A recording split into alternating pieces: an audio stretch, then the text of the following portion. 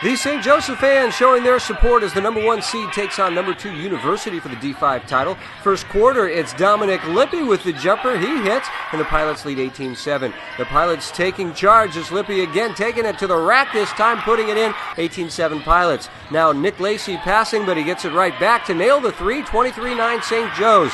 Second quarter now, Whitfield gives to Givens, who throws it behind his back to Lacey, and Garrett Rich is there to finish it off. Pilots lead by 16. Pilots send the ball around to Whitfield, who hits from three one more time. 39 16 Pilots at the half. Third quarter, and the Red Devils looking to make a comeback. Noah Springwater passes to Zio Enriquez, putting it in for three. 39 19 Pilots. Fourth quarter now, Rich throws it to Max Savage, who gives it to Will Carroll, who puts it in for two. 56 22 St. Joe's. One second left. Sean Harden to Justin Brown, who drops it in. It's all celebration from there. As St. Joseph Notre Dame wins both the boys and the girls D5 championships.